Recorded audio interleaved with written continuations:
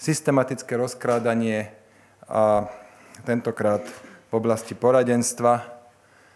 SAS vždy upozorňovala na, na korupčné kauzy a preto to aj v tomto prípade a je to naozaj, naozaj niečo veľmi nepekné. Medzičasom sme podali 14 podnetov na OLAF, v niekoľkých prípadoch sa vedie vyšetrovanie a vyzerá to tak, že aj v tomto prípade to tak skončí. Taká zlá situácia v oblasti čerpania eurofondov, ako je dnes, ešte na Slovensku nebola, dovolím si tvrdiť. Výzvy stoja absolútne naprieč e, všetkými operačnými programami, nedodržiavajú sa harmonogramy víziev a eurofondy sa nečerpajú. Ak si uvedomíte, že už celé tri roky môže Slovensko čerpať z nového programovacieho obdobia, v ktorom je veľa peňazí, veľa peňazí najmä pre regióny, na dobudovávanie škôlok, škôl a podobne, tak je naozaj zarážajúce, že za tie tri roky, čo môžeme čerpať z nového programovacieho obdobia, sme vyčerpali 3,9 e, To je absurdne málo. A nehovorím to len tak, že je to absurdne málo. Totiž teraz sa začala diať taká nová vec, nová móda na Slovensku, že jednotlivé ministerstva si začali outsourcovať poradenské služby a, pre jednotlivé firmy. A je to v obrovských balíkoch peňazí. Ako zatiaľ vyčerpali 75 miliónov eur na poradenstvo, ktoré je bližšie nešpecifikované. Um, ale toto bude pokračovať a ja musím upozorniť, že celé sa to čerpá z technickej pomoci, ktorú dostávame od Európskej únie. A v tej technickej pomoci pre nové programovacie obdobie je 650 miliónov eur. To znamená, zatiaľ sme niekde na 100 miliónoch eur, ale e, tento vlak pôjde ďalej.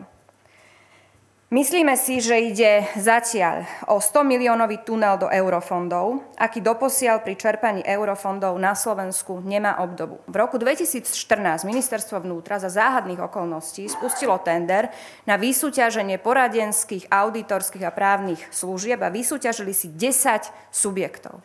A len z týchto desiatich subjektov si teraz jednotlivé ministerstva môžu vyberať toho, kto im bude radiť pri eurofondoch. Ministerstva tak aj robia. Najviac z toho celého balíka, ktorý bol zatiaľ minutý, teda 75 miliónov eur, odčerpala firma Deloitte v hodnote 33,4 milióna eur. Problém ale je, že ten Deloitte robí len to, čo robia ľudia na ministerstvách. My už dnes na ministerstvách máme zamestnaných stovky úradníkov, ktorí sú platení z technickej pomoci a sú tam od toho a majú aj v popise práce to, čo si ešte plus ministerstva zadávajú pre Deloitte? Už len v tomto je duplicita a sú na to míňané obrovské peniaze.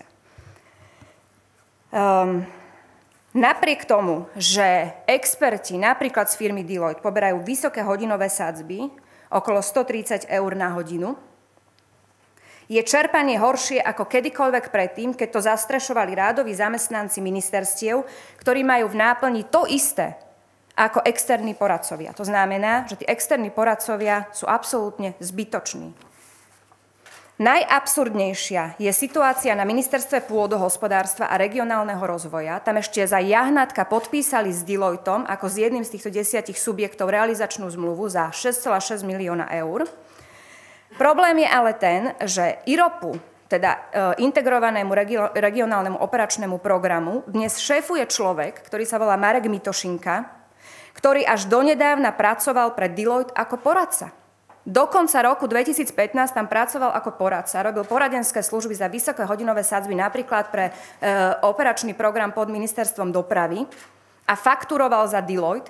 A dnes tento človek pracuje na ministerstve, e, na ministerstve pôdohospodárstva a zadáva premrštené objednávky pre Deloitte ktorí si fakturujú. Lenže to nie je všetko. To nie je len o tom, že on im zadáva objednávky, ktoré by mali v skutočnosti robiť interní zamestnanci a títo aj robia, keďže to majú v popise práce.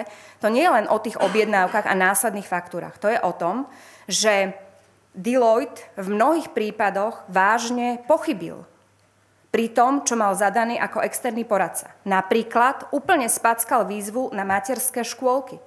Tá výzva na materské škôlky, to je presne tá výzva, o ktorú sa v predvolebnej kampani opieral Fico, keď hovoril, že 80 miliónov eur pôjde na škôlky. Nuž, vyšla výzva, ktorá bola ale tak v rozpore s nariadeniami Európskej komisie, že musela byť stiahnutá. A potom dostali novú objednávku, zase Deloitte, aby opravili svoje vlastné chyby a nanovo si fakturovali za opravu svojich vlastných chýb. Dnes je tá výzva zverejnená na novo, ale s časovým posunom, to znamená, regióny nemajú peniaze na tie škôlky, už slúbili ľuďom, že zoberú ich deti do škôlky a teraz to nemajú z čoho zaplatiť. To sú vážne škody, ktoré sú týmto napáchané. Na novo zverejnili tú výzvu s časovým odstupom a Deloitte si to na novo vyfakturoval. To tiež nie je všetko. Deloitte napríklad pre ministerstvo pôdohospodárstva robí na základe objednávok od svojho bývalého zamestnanca také veci, ako je napríklad príručka pre verejné obstarávanie IROP. Ja vám ukážem tú príručku. Tá príručka vyzerá takto. Má asi 90 strán, je tak? 70, 70 strán. A táto príručka, mám na to aj objednávku, aj faktúru, stála 95 tisíc eur. My sme 3,5 roka chodili na stretnutia na ministerstvo, na rôzne ministerstva, ktoré sú teda riadecím orgánom pre IROP konzultovali, akým spôsobom majú byť tieto prostriedky čerpané. Bolo nám zrejme, že európske nariadenia hovoria úplne zretelne, že jednoducho nejaký balík má byť vyčlenený na krajské mesta, má byť vyčlenený úplne jednoducho, transparentne a od začiatku sme mali tú nádej, že tak aj e, bude. Za tie 3,5 roka sme však prichádzali do kontaktu s takou realitou, že jednoducho všetky informácie, ktoré nám e, sa dostávali, začínali si protirečiť, boli protichodné, e, menili sa tam zamestnanci a nakoniec boli prijatí teda externí poradcovia v podobe zamestnancov firmy Deloitte, s ktorými, e, s ktorými sme mali tieto záležitosti konzultovať priamo. Niektoré rokovania sa uskutočnili priamo v ich firme. No a výsledkom je vlastne to, že peniaze, ktoré mali byť určené na, na technickú pomoc, ako sme sa teda neskôr dozvedeli, boli všetky, alebo teda veľká väčšina minutá na poradenstvo firmy Deloitte, ktoré nielenže duplikovalo prácu ministerských úradníkov, ale dovolím si tvrdiť, že duplikovalo aj našu prácu, pretože nám často posielali na pripomienkovanie materiály, ktoré sme im my vlastne z pozície krajských miest a vúciek spripomienkovali. Oni naše know-how, povedzme to, zobrali, to, čo sa im hodilo, zapracovali a v zásade za lacnú pracovnú silu mali urobený materiál s takouto pomocou, pričom ale krajské mesta za to nedostali vôbec nič. Budeme o tomto informovať Európsku komisiu, príslušné generálne riaditeľstvo, lebo presne toto nechcú, aby sa dialo. Presne takéto duplicitné práce, respektíve takéto plitvanie finančnými prostriedkami. Podľa mojich e, skúseností oni celkom minimálne si tie listy prečítajú, v niektorých prípadoch aj konajú. Takže budem informovať Európsku komisiu, čo sa tu deje, ako hrubo sa tu porušujú nejaké zásady a pravidla pri čerpaní eurofondov.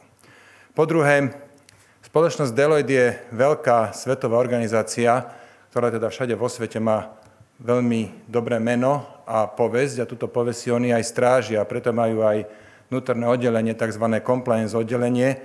Myslím si, že aj ich by trebalo informovať, akým spôsobom tu postupuje táto spoločnosť, v akom ťažkom konflikte záujmov sa nachádza bývalý zamestnanec spoločnosti Deloitte a terajší zamestnanec ministerstva pôdohospodárstva, ktorý, tejto, ktorý svojmu bývalému zamestnávateľovi prihráva zákazky. Myslím si, že aj o toto sa oni budú zaujímať. Samozrejme, tie veci, ktoré už prebehli, a neboli v poriadku, tak tam podáme podnety e, na OLAF. Myslím si, že bude ich možno dva alebo tri. No a samozrejme ponechávame si všetky ďalšie možnosti podľa toho, ako sa tento prípad vyvinie.